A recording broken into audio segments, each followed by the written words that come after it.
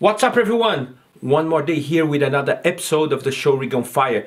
Today we are gonna take a look at this ER pack from my good friend from Germany, Mr. Kristian Kohle.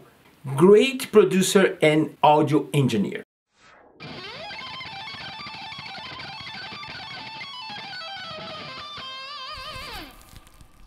Before we go any further, let me say this again. This is not my main channel. My main channel is in Portuguese because I'm from Brazil, but I live here in the United States. So if you're from Brazil, don't sweat it. There is a link for the same video in Portuguese, okay? Well, uh, Kristian Kohle is the owner of the Kohlekeller Studio in Germany. And he's a great producer. He's already produced Aborted, Eskimo Callboy, Powerwolf, among another amazing bands he did a partnership with Eminence Speakers. They sent to him the new release from them, this the Divinity. This one is a signature speaker.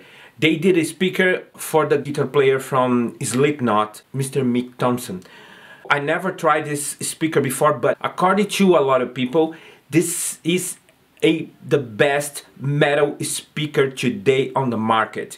And they sent, among another speakers, this bad boy here. And they also sent two other speakers to Mr. Kristian Kohle do this IR pack here. The Swamp Thang and the CV75.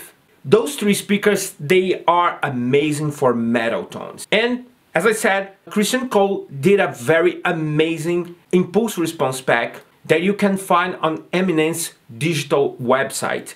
Among another impulse response packs, they have this Kristian Kohle impulse response metal pack. He did 18 impulse responses based on those three speakers. And there is lots of mic positions, mic blending, blending different speakers together, different cabinets. It's lots of options. For this video, I cannot show you all those options, all those I'm going to give you a glimpse how badass they are. Check this out. I'll be right back.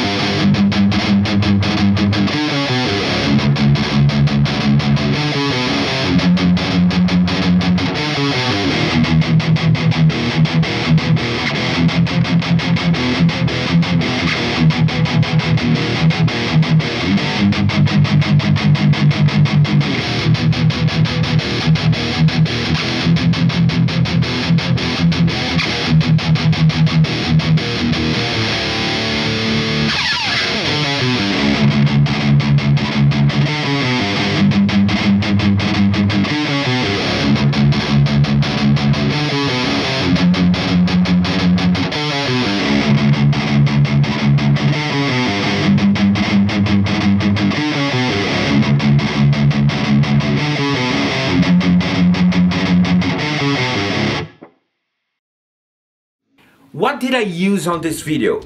I used this amazing LTD ESP GH-600 Gary Holt signature guitar with EMG pickups hook up directly inside my rectifier Badlander there and I'm going straight to the load box and go inside my DAW and put those impulse response on top of that. I think the result was amazing. It's super professional, super ready to use I don't even use any equalizer post-production here.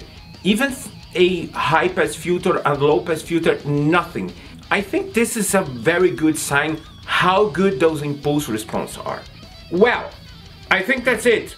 I hope you guys liked this video. Don't forget subscribe, thumbs up. See you next time. I'm out.